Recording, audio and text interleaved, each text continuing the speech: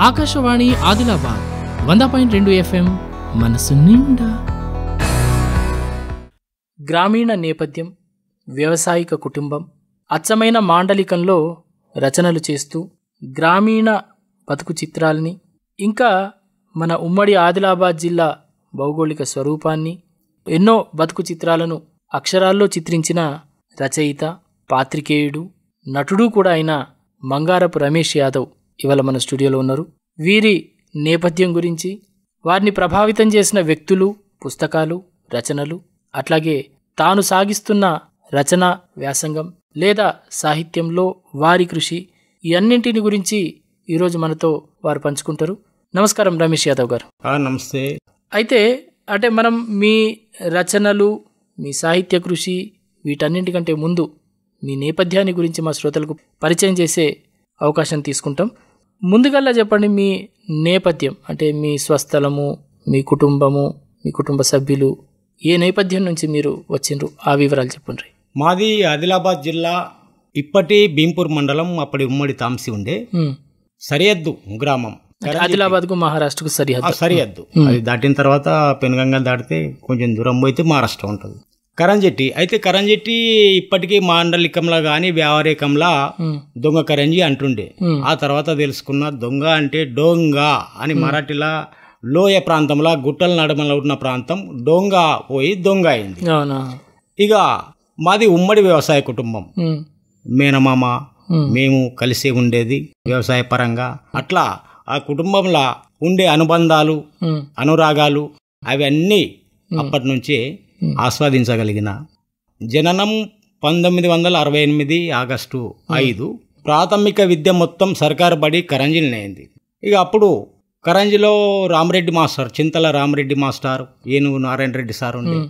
ఆ ఇద్దరు టీచర్లు గురువులది చాలా ప్రభావం ఉన్నది. రామరెడ్డి సారు పూర్తిగా ఆధ్యాత్మిక భావనలో ఉండేవారు. ఇప్పటికి ఉన్నారు సార్. అయితే ఆ రకంగా సారు మంచి చేయాలి సమాజానికి. ఏ పరిస్థితుల్లో చెడు చేయకూడదు Hmm. అట్లాంటి మాటలు పాఠాలు చెప్పేటోడు సార్. ఈ ముగ్గురు ఉపాధ్యాయుల ప్రభావం మీ మీద బాగా ఉన్నదంట మిమ్మల్ని ప్రభావితం చేసిన అంటే ఈ పేర్లు కూడా గతంలో మీరు ఆకాశవాణి కోసం రాసిన కొన్ని ప్రసంగాల్లో కథానికల్లో కూడా వీటిని ప్రస్తుతిస్తూ మీరు రాసిన. జ్ఞాపకం ఉన్నది. ఉటంకించిన. జ్ఞాపకాలు ఉన్నాయి. ఉదంతం లాంటి నవలల్లా అంత బలంగా. ప్రభావితమైన నేను. అంటే అంత ప్రభావితం చేసిన ఆ వ్యక్తుల గురించి మనం మునుముందు మాట్లాడుకుందాం. అయితే చదువు ఎట్లా కొనసాగింది మీకు బాల్యంలో? మొత్తం కూడా మీ ఊర్లోనే చదివిన సర్కారు బడిలో ఉన్నారు ఎట్లా వనరులు ఎట్లా ఉండే? ఏ రకంగా మీ కొనసాగి గ్రామం కరంజి. అన్ని వృత్తులు కుల వృత్తులు కానీ. అద్భుతంగా నేను ఏది చూసినా ఒక గుణం ఏముండే చిన్నప్పటి నుంచి? నిశ్చితంగా పరిశీలించడం. ప్రతి దాంట్లో ఆ ఒక ఆనందం ఉదాహరణకు ఒక కమ్మరి కొలిమిలో ఒక వస్తువు తయారు చేస్తుంది ఎట్లా చేస్తారు? ఒక జిజ్ఞాస. ఎంత శ్రమ పడతారు? ఇది పరిశీలన శక్తి అట్లా వచ్చింది అన్నమాట. ఇక తద్వారా ఇక మళ్ళీ అక్కడ అది తర్వాత ఉపయోగపడ్డది వేరే విషయం. మా ఊళ్ళో పండగలు కానీ దసరా దీలే బొడ్డెమ్మలు మొహరం. అన్ని ప్రతి ఒక్కటి పొలాలు. పొలాల పండగకు వందల సంఖ్యలో ఎడ్ల జాతలు. పెద్ద వ్యవసాయ గ్రామం కదా. ఇవన్నీ చూస్తుంటిని. అంటే ఇప్పుడు ఒక వ్యక్తి ఎదుగుదలలో పరిసరాల ప్రభావం కూడా ఉంటది. తప్పకుండా. కదా? అయితే అట్లా మీకున్న పరిసరాలు ఏ రకమైన పరిసరాలు ఉండే అవి ఎట్లా మీ మీద ప్రభావం చూపినాయి? పరిసరాలు పక్క ఉన్న ఇండ్లు కానీ అన్ని చాలా మంచి నడవడికతోని ఉండడం కానీ అప్పుడు బాల్యంలో చిన్నతనంలో ఉన్న దోస్తాన స్నేహితులు కానీ అప్పుడు ఈ ఆటలు వేరే రాకపోవు కానీ దిల్లి దాండు దగ్గర దగ్గర అడవులు ఉంటుండే. అడవులకు పోయి ఆడుకోవడం మామిడి చెట్లలా గడపడం. ఆ తర్వాత ఇంకోటి మీరు అన్న మంచి ప్రశ్న అది. పరిసరాలు గ్రామ పరిస్థితి. కరంజి అంటే అప్పటి నుంచే ఏదో జమానా నుంచి నాటక భాగవతాలకు ప్రసిద్ధిగాంచింది మా తాత అమ్మ తండ్రి ఉండే నారాయణ పటేల్ ఆయన అప్పటి నుంచి చేసేది. ఆయన చివరి దశలో నేను చూడడం జరిగింది. నేను ఐదో తరగతి లోపల ఉండంగానే శ్యామన నెలల ప్రతి ఏడాది శ్యామన నెలల భారతం రామాయణం చెప్తుండే. ఉమ్, మాదబాపు కాక అని చెప్తుండే. ఆ వర్షం బురదల్ని నడుచుకుంటా పోయి ఆ రాత్రి అది వింటుంటే ఆయన కళ్ళకు గట్టినట్లు చెప్తుండే. ఆ ప్రభావం కూడా ఉన్నది. మళ్ళా శ్యామనం మొత్తం భజనలే మరాఠీ నెలంతా భజన నెలంతా భజనలే అంటే ఇది కొంత మహారాష్ట్రకు ఆనుకొని ఉండడం వల్ల మీ ఊరు మీకు కొంచెం మరాఠీ తెలిసి మరాఠా ప్రభావం ఉన్నది. ఉన్నది. ఉమ్, తుకుడేజీ మహారాజ్ భజనలు వారకారి భజనలు తెలుగులో మన తారకము నాగదాసు గారు ఆ, పరమేశ్వరయ్య. ఆ పరమేశ్వర్ అయ్య వీళ్ళంతా చాలా ఆ పాటలు పాడడం కానీ అప్పుడు పూర్తిగా మాకు అర్థం తెలియకున్నా ఆ పాటలు పాడడం వాళ్ళతో మమేకం కావడం మంచి సాన్నిహిత్యం ఏర్పడ్డది అట్లా. ఈ రకంగా క్రమంగా కొంచెం అది భక్తి అనుకోండి మంచితనం అనుకోండి ఆ వైపు వెళ్ళడం జరిగింది అన్నమాట ఇక మళ్ళా అప్పటి నుంచే అంటే బాల్యం అయితే అద్భుతంగానే జరిగింది అని అనొచ్చు. అది ఒక మధుర జ్ఞాపకం మధుర. జ్ఞాపకం. బాల్యం ఒకసారి స్కూలు- గడిచిపోయిన తర్వాత మళ్ళీ రాదు ఆ స్కూలు ఇప్పుడు దాన్ని కూల్చివేసి వెటర్నరీ దవాఖాన కట్టిండ్లు. ఆ స్కూళ్ళు హై స్కూల్ ఇప్పుడు వేరే దిక్కు అయినాయి కానీ అవి కూడా బాగున్నాయి. అయితే అవన్నీ ఇక చెరిగిపోని జ్ఞాపకాలు. ఆ చదువు బలంగా నాటుకుపోయి ఉన్నాయి మీకు అవునవును. ఆ చదువులలో కూడా అన్నిట్లా మంచిగా ఫస్ట్ ఉండింటి అయితే ఇప్పుడు పదవ తరగతి వరకు మీ ఊర్లోనే కాదు ఐదో తరగతి దాకా. ఐదు వరకే. ఐదు వరకు. అప్పుడు లేకుండే. మరి ఆ తర్వాత పై తర్వాత తాంసికి వచ్చిన. మండల్ తాంసి. మండల్ తాంసి. అప్పుడు తాంసే కదా నైజాం కాలం నాటి పోలీస్ స్టేషన్ కానీ ఉన్నత పాఠశాల కానీ. ఆ తర్వాత ఇవి ఇంత ప్రైవేటు అసలు దాదాపు లేవని లేవు అప్పుడు తాంసీలో పరిమిత వనరులు అప్పుడు. తాంసీలో కూడా హెచ్ఎం కాంతిరెడ్డి సార్ కానీ మోహన్ రెడ్డి సార్ కానీ తెలుగు పండిటు నరహరి సార్ ఉండే వీళ్ళందరి ప్రభావం ఉన్నది. అద్భుతంగా పాఠాలు చెప్తుండే. సాంఘిక పాఠాలు భూమన సారు. వీళ్ళందరూ అంటే ఇప్పుడు చెప్తలేరని అనగాని. చాలా బలంగా ధ్యాసగా బుద్ధిగా వినడం అప్పటి నుంచే అలవడ్డ లక్షణం. అక్కడ ఏం జరుగుతుండే తాంసిలో సిరిసిల్ల దేవాయసారం నుండి ఇదే టీటీడీ.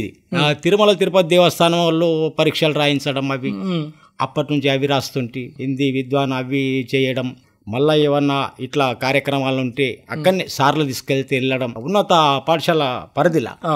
మళ్ళా అప్పుడు ఎక్స్కర్షన్ ఎంత? వంద ఇరవై ఐదు రూపాయల హైదరాబాద్ నాగార్జున సాగర్ ఏమో పోయొచ్చినాం అట్లాంటి ఆ జ్ఞాపకాలు పదిలంగా ఇవి ఎందుకు చెప్పాల్సి వస్తున్నది అంటే ఆ తర్వాతి సాహితీ రంగంకు కానీ జర్నలిజం కానీ. అవి చాలా ఉపయోగపడ్డాయి. మీకు ఆ అనుభవాలన్నీ ఇక్కడ పనికొస్తున్నాయి. పనికి వచ్చినాయి ఇప్పుడు ఆ తర్వాతి నవలలు కానీ ఇంకేమన్నా కానీ మళ్ళీ ఇటు పదవ తరగతి చేస్తున్నాయి ఆ వయసులోనే మధ్యన సెలవులకు అచ్చుడు చేసుడు కొంచెం అప్పటికే యూత్ కాదు కానీ. ఆ యూత్ అంటే ఇష్టం ఉండడు. ఒక గ్రామం అంటే ఇట్లా ఉండాలని కోరుకోవడం. మళ్ళీ ఏమైంది? ఇక చదువు మీద పఠనాసక్తి. అప్పుడు మా మామగారు ఇవి తెప్పిస్తుండే. కొన్ని మ్యాగజైన్స్ ఫ్రీగా వస్తుండే అనుకుంటా పోస్ట్ ఆఫీసులో. రష్యా. ఆ రచయిత పేరేంటి? నా విశ్వవిద్యాలయాలు. Maxim Gorky. ఆ, అప్పుడు నాకింత పెద్ద పరిణతి లేదు కానీ చదివేయడమే. చందమామ బాలమిత్ర మళ్ళీ ఇంకేంటి? స్వాతి. ఆ తర్వాత ఇంటర్మీడియట్ స్థాయిలో చిత్ర విప్ల ఇవి బాగా చదువుతుంటే. మళ్ళీ అవి సమీక్షలు రాస్తుంటే. పాఠకుల అంటే అప్పుడు ఆ వయసు పదో తరగతిలో ఉన్నప్పుడే చదవడము సమీక్షలు కూడా రాయడం సమీక్షలు కూడా రాస్తుంటే అవి ఆ పాత మ్యాగజైన్లు చాలా రోజులు బాగా రోజులు ఇప్పుడు మీరు రాసి పంపిన సమీక్షలు అచ్చయ్యేటివా పత్రికలలో? అచ్చయ్యేటి అచ్చయ్యేటి ఎంత? అప్పుడు ఇరవై ఐదు రూపాయలు మొదటి బహుమతి వంద రూపాయలు ఇట్లా ఇరవై ఐదు యాభై వంద కూడా వచ్చిన సందర్భాలు ఉన్నాయి అప్పుడు నేను పాఠకున్నే. అవును. పాఠకున్ని కానీ చాలా ఆశాంతం. చదివి ఆ ఈ నవల బాగున్నది ఈ కథ బాగున్నది విప్లవ కథలు వస్తుండే వేరే వేరే రాష్ట్రాల శత్రు అయితే మొత్తం ఒక నవల ఇస్తుండే. అంటే అప్పటికే ఈ సాహిత్యంలో వీళ్ళు పలానా వ్యక్తి పలానా ఇంత గుర్తింపు ఇతడికి ఇట్లాంటి మీకు ఉందా చూచాయగా ఐడియా ఉన్నది. చూచాయగా నాకు అట్లా ఐడియా ఉన్నది. మన పోస్ట్ ఆఫీస్ ఎవరు ఏమి అనేది.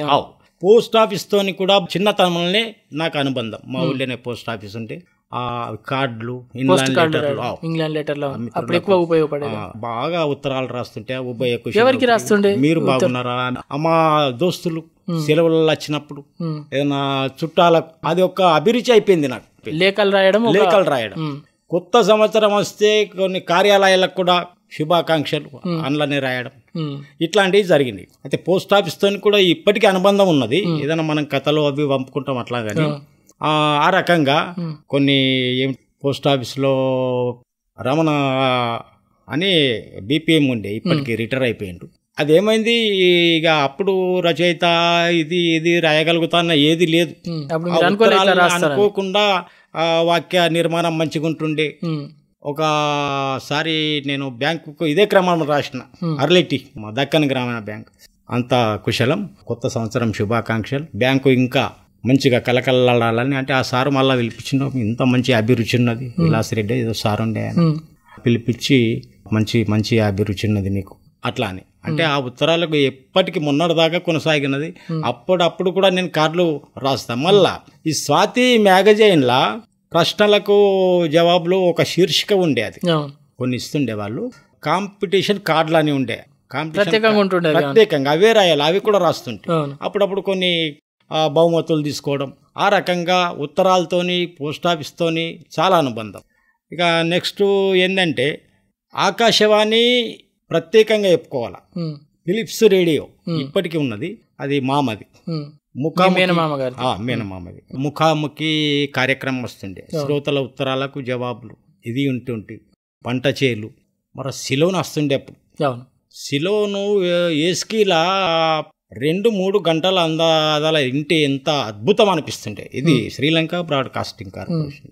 ఇవన్నీ నాకు ఒక మంచి అనుభూతి. ఇక మళ్ళా ఆ రేడియోలో శ్రోతల ఉత్తరాలకు ఇస్తుండే కదా. కొన్ని ప్రశ్నలు అడుగుతుంటే జవాబులు వస్తుండే. అప్పుడు రేడియోలో పేరు వచ్చిందంటే పెద్ద పెద్ద మాట. అన్న పేరు వచ్చింది పేరు వచ్చింది ఆడకట్టలు కూడా పక్కోళ్ళు కూడా వినాలనే తపన. అది క్రమంగా క్రమంగా రేడియోతో మళ్ళా అనుబంధం పెంచింది ఆ రేడియోతో. వేరే మాధ్యమం ఇంకా అప్పటికి రాలే. టీవీలు తర్వాత వచ్చినాయి. అంటే అప్పుడు మీరు రేడియోకు ముఖాముఖి కార్యక్రమం కోసం ఉత్తరాలు రాయడం మీరు కోరిన పాటల కోసం ఉత్తరం రాసి పాటలు అడగడం ఇట్లాంటివి చేస్తుండే కదా. అప్పుడు ఎప్పుడన్నా అనుకున్నారు? అసలు నేను ఈ రేడియోలోకి పోయి ప్రసంగాలు కూడా ఇస్తా అని అస్సలే అనుకోలేదు రేడియోలో వస్తా నేను ఒక మోస్తరుగా రచనలు వేయగలుగుతా అనే మాట నేను ఎప్పుడు ఊహించలే. ఆ క్రమంలో అట్లనే ఆ రచనలు అవి పోతున్నాయి. ఇక్కడ ఒక మాట మనం చదివిన పుస్తకాలు మీకు చెప్పిన కదా. కవ్వాలి నారాయణరావు అనుకుంటా జ్ఞాపకం లేదు. వెయ్యి శిరస్సులు ఖండించిన అపూర్వ చింతమని పెద్ద అది ఒక వెయ్యికి పైన ఉన్న పేజీల గ్రంథం అది. మా ఊళ్ళో మరలా చిన్నయ్య కాక అని చెప్తుండే అది. అది కూడా ప్రభావితం చేసింది ఆ గ్రంథం. పెద్ద పుస్తకం అది. విజయ్ కుమారుడు అని అందులో ఒక హీరో అనుకుంటారు. ఎన్నెన్ని అద్భుతాలు చేసిండు. అది గొప్ప రచన. నేను అనుకుంటా ఆ రచయిత మళ్ళీ చాలా తక్కువ రచనలు చేసిండేమో. ఇట్లాంటి క్రమంగా ఈ రంగం వైపు తీసుకొచ్చినాయి. ఇక మళ్ళా ఆ తర్వాత ఇంటర్మీడియట్ స్థాయిలో ఎంపీసీ ఇక్కడ ఆదిలాబాద్ డిగ్రీ కాలేజీ. అప్పుడు డిగ్రీ కాలేజీలోనే ఇంటర్ డిగ్రీ రెండు కలిపి డిగ్రీ వేయలేదు నేను. ఉమ్, ఇంటర్మీడియట్ సెకండ్ ఇయర్ ఇస్తున్నప్పుడు పాలిటెక్నిక్ వచ్చింది నాకు. సంజయ్ గాంధీ పాలిటెక్నిక్ గిట్ ఉండే సాత్నాల సాత్నాల బస్ స్టాండ్ దగ్గర ఉండే జైలు అది. అవును. ఇక అక్కడ ఉంటే అక్కడ DCP Hmm. Diploma in commercial and computer practice అది చేసినాను. తర్వాత అదే సమయంలో ఏమైంది? నాకు రచనలు ఆసక్తి అని నాకు తెలియదు. ఆ, క్రమంలో. రా- రాసుడు చదువుడు రాయడం సమస్యలు ప్రజల సమస్యల్ని నేను పేపర్ల దృష్టికి తీసుకుపోవాలా. Eenadu office Vaman Reddy sir MLA అప్పుడు. ఆయన ఇంటి పక్కన. పక్కకే ఉండే కదా. ఆ సార్కు స్టాఫర్ సార్కు ఇస్తుంటే ఏమన్నా కరంజల ఈ సమస్యలు ఊరు సమస్యలు. ఇక్కడ ఈ సమస్యలు ఆయన బాగా రోజులు పబ్లిష్ అవుతుండే అప్పుడు పేపర్లో కూడా ఏం జిల్లా పేజీలే రాలే కదా. పేరు వస్తే ఇంకా గొప్ప. అని యూత్ క్లబ్ అధ్యక్షుడు రమేష్ యాదవ్ కోరారు. విజ్ఞప్తి చేశారు అధికారులు ఫలానా సమస్య పరిష్కరించాలని పెద్ద ఇదిగా పేపర్లా ఇట్లా. ఆ సారు ఏం చేసిండ్రు? చూసి చూసి మరి పాలిటెక్నిక్ వేస్తున్నావు డిస్టర్బ్ అవుతుంది కదా రమేష్. మరి చెయ్యగలుగుతావా? రిపోర్టింగ్ చేయగలుగు చేస్తా సార్ అని అప్పుడే స్టార్ట్. ఉమ్, ఇటు పాలిటెక్నిక్ వేస్తున్నా ఇటు ఆదిలాబాదు టౌను తాంసీ ఆ వార్తలు రాస్తున్నా. ఇక దాని గురించి అది పెద్ద కథ. అది ఎంత సార్ ఇప్పుడు తొంభై ఆ ప్రాంతం ఎనభై తొమ్మిది తొంభై అనుకుంటా ఈనాడులో. అంటే ఆ రకంగా పాత్రికేయ రంగంలోకి వచ్చిండ్రు ఆ అంటే. మీకున్న ఈ లేఖలు రాసే ఆసక్తి ఆసక్తి ఈ రచన వైపు మళ్ళించింది పాత్రికేయ వృత్తి వైపు తపన ఒకటి. మీలో ఉన్న తపన సమస్యలు. బయటకు తీసుకురావాలన్న చెప్పాలా? పరిష్కరించబడాలా? మనమే కాదు మన పరిసరాలు మన ఊరు. ఇట్లా అన్నమాట.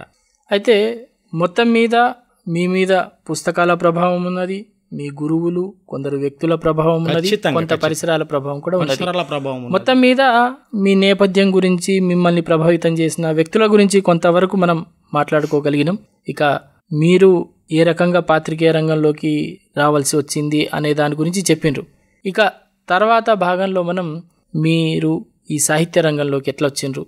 మీ రచనలను గురించి అట్లాగే మీ పాత్రికేయ వృత్తికి సంబంధించిన అనుభవాలతో పాటు మీరు నటుడిగా కొన్ని చిత్రాల్లో కూడా చేసిండ్రు. ఈ విషయం చాలా మందికి తెలిసి ఉండొచ్చు ఉండకపోవచ్చు. మీలోని నటుడిని కూడా ఆవిష్కరించే ప్రయత్నం తర్వాతి కార్యక్రమంలో చేద్దాం.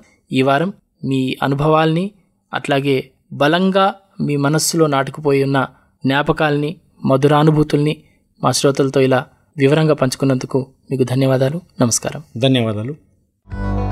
ఆకాశవాణి ఆదిలాబాద్ వంద పాయింట్ రెండు ఎఫ్ఎం మనసు నిండా.